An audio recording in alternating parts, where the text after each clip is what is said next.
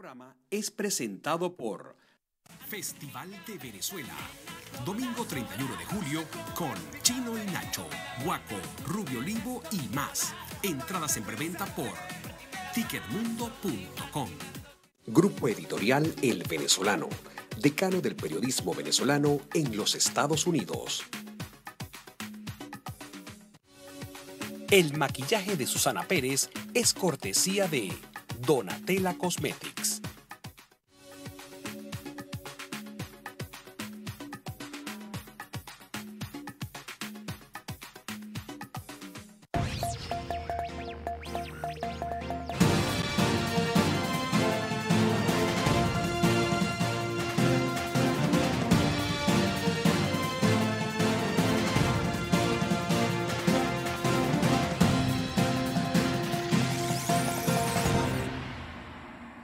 Saludos, iniciamos Noticias El Venezolano TV. Les acompañamos a esta hora en Manuel Villalobos y Susana Pérez, listos para llevarles las informaciones a quienes nos siguen a través del canal 81 de Comcast en el sur de la Florida. También recibiendo a quienes nos ven a través de la www.elvenezolano.tv. Comenzamos de inmediato. Esta es nuestra noticia del día.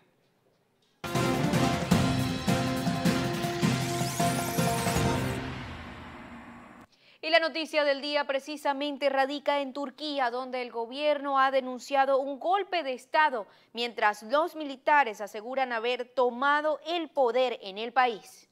A través de un comunicado, el ejército de Turquía anunció la presunta asumida del poder y prometió mantener las relaciones diplomáticas con los países extranjeros, pues su prioridad sería el respeto a la ley. El primer ministro turco, Binali Yildirim, aseguró que quienes protagonizaron la acción, tildada como un intento de golpe de Estado ilegal, pagarán el precio más alto y que no se permitirá ninguna iniciativa que interrumpa la democracia.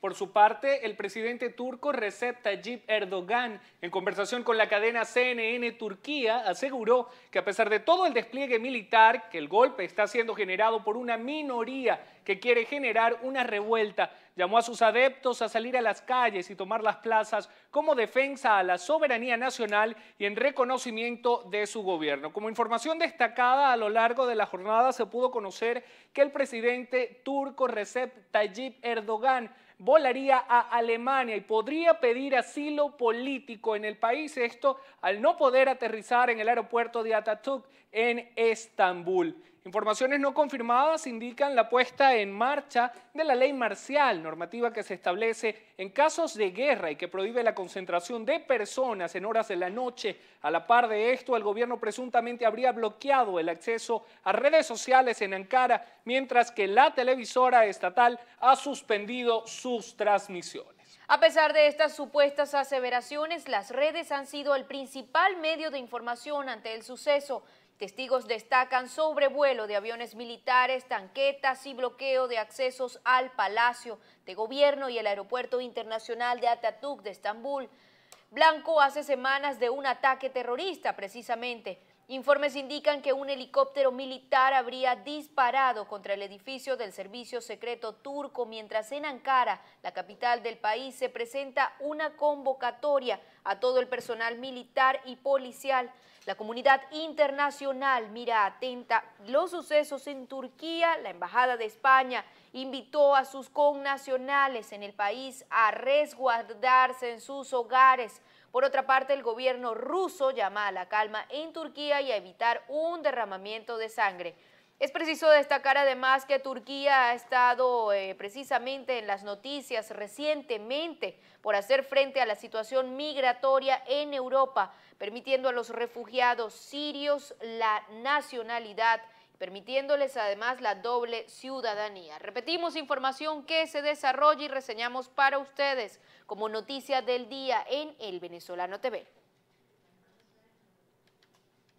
Bien, y cambiamos de tema porque las autoridades francesas confirman los nexos del atacante de Niza con el extremismo islámico, mientras el Daesh invita a sus lobos solidarios a arrollar a todos los infieles.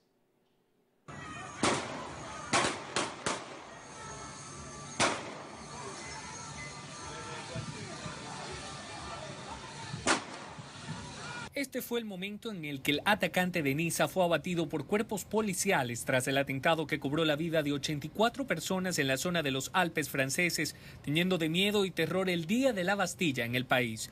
El fundamentalista Mohamed Bouhel fue identificado como el atacante, quien se atrincheró en el camión usado para el atentado y en donde se encontraron granadas y réplicas de armas largas que, de acuerdo a las autoridades, no servían para causar mayor daño. Los vecinos lo describen como aficionado al alcohol y el hachís, con fuertes actitudes violentas. A la par de esto, el primer ministro francés Manuel Valls lo relaciona con el islamismo radical y confirma que efectivamente el acto estuvo vinculado al terrorismo. Y aunque el Estado Islámico no se ha atribuido hasta el cierre de esta edición el acto en Niza, el hecho coincide con la petición a los lobos solitarios de Occidente por parte del Daesh a arrollar a los infieles, exhorto difundido por el principal medio del grupo extremista. El estado de emergencia se vuelve a activar en Francia, esta vez por tres meses. La historia de horror no tiene limitaciones de lugares. Una revista satírica, un mercado de alimentos, una sala de conciertos, estadios, terrazas y ahora las calles de la turística ciudad de Niza se han teñido de sangre y desesperación. La pregunta sigue siendo por qué los terroristas continúan con la mirada puesta sobre esta nación para seguir haciendo de las suyas. Cooperación a todo nivel a Francia para enfrentar esta nueva tragedia fue lo expresado por el presidente Barack Obama tras el ataque a Niza. El presidente Barack Obama presentó sus condolencias al pueblo francés tras el ataque en Niza, dio instrucciones a su equipo para estar en contacto con las autoridades francesas y ofreció toda la ayuda que se pueda necesitar para investigar este ataque y llevar a los responsables ante la justicia. Hablé con el presidente Hollande y además de comunicarle mis profundas condolencias, le dije al presidente Hollande que vamos a permanecer unidos ahora. En nuestro dolor, en nuestra oración por los muchos que están heridos, muchos de los que todavía están luchando por sus vidas. Y esto es una amenaza para todos nosotros. No sabemos todos los detalles, pero lo que conocemos es la capacidad de un solo individuo para hacer daño extraordinario a la gente, a nuestro modo de vida. Durante su reunión con el canciller ruso Sergei Lavrov en Moscú, el secretario de Estado de Estados Unidos, John Kerry, hizo un llamado a la Unión para encontrar una solución rápida y tangible para dar fin al flagelo de estos ataques terroristas. Ciertamente nos unimos a ustedes para expresar nuestro rechazo absoluto a la increíble matanza que tuvo lugar ayer en Niza. El problema es que usted y yo y otros ministros y líderes de países extranjeros estamos haciendo esto ahora casi una vez por semana y en ninguna parte existe un mayor semillero o incubadora de estos terroristas que en Siria. El presidente Barack Obama agregó en su mensaje que Francia continúa siendo un ejemplo de democracia, inspiración y extraordinaria resistencia para el mundo y que esto perdurará mucho después de esta devastadora tragedia. Cristina Caicedo Smith, Voz de América, Washington. Por su parte, el Papa Francisco condenó toda manifestación de locura homicida, esto luego del ataque en Niza. El sumo pontífice expresó su solidaridad con el sufrimiento de las víctimas y del pueblo francés que celebraba un día histórico para la nación. Condenamos de manera absoluta toda manifestación de odio, de terrorismo y de ataque contra la paz, comentó el vocero del Vaticano Federico Lombardi en nombre del Papa Francisco. Algunos testigos, según Radio Vaticana, señalan que el atacante gritó Alá es grande antes de ser asesinado, lo que deja ver su inclinación por las ideas del grupo terrorista Estado Islámico. Entre las personas fallecidas se encuentran dos ciudadanos estadounidenses y varios niños imágenes que han impactado al mundo entero. Distintos jefes de Estado, como Barack Obama de Estados Unidos, Enrique Peña Nieto de México, Juan Manuel Santos de Colombia, Mariano Rajoy de España y Michelle Bachelet de Chile, entre otros, han expresado su solidaridad con Francia y su firme condena a estos lamentables hechos. También mandatarios de la comunidad internacional condenaron el ataque perpetrado en Niza, hecho que el gobierno de Francia ha calificado como un atentado terrorista. Los dignatarios exhortaron a unir fuerzas en contra de los grupos extremistas. El presidente de la Federación Rusa, Vladimir Putin, fue enérgico en su pronunciamiento, además de expresar las sinceras condolencias en nombre del pueblo de Rusia y desear la recuperación de los heridos del ataque registrado este jueves.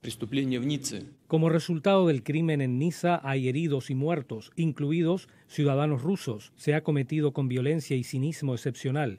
Quiero subrayar una vez más que el terrorismo puede ser derrotado uniendo fuerzas. Por su parte, la canciller de Alemania, Angela Merkel, durante su llegada a Mongolia para participar en la cumbre ASEM, dijo que la celebración patria de la Bastilla se convirtió en una fecha de luto para los franceses. Hoy estamos en solidaridad, la gente en Alemania y todos aquí somos solidarios con nuestros amigos de Francia.